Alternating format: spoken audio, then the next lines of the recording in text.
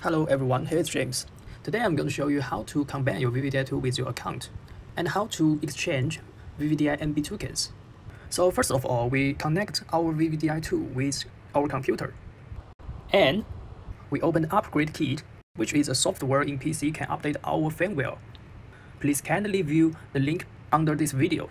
So we will open it and click Binding. Then you will see the software begin to search, recognize our device. Please for sure the driver is ready. After that, the website will go automatically. You can see a QR code in the screen. Then we use application info to scan this QR code.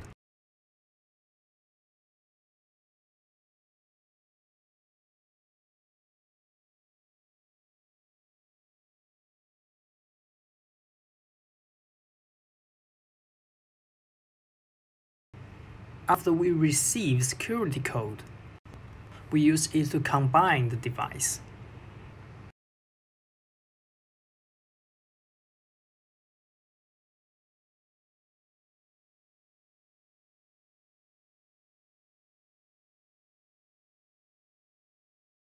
Then you can see in combined device interface, there is a VVDI2.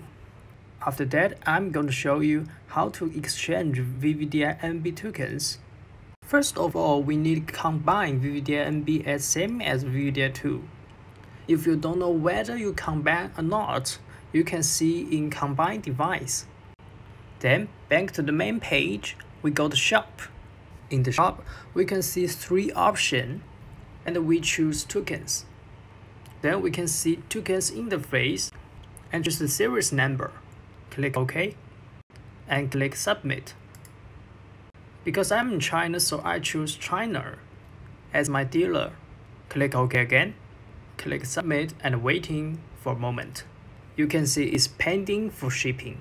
That's all. Don't forget to subscribe my channel if you like.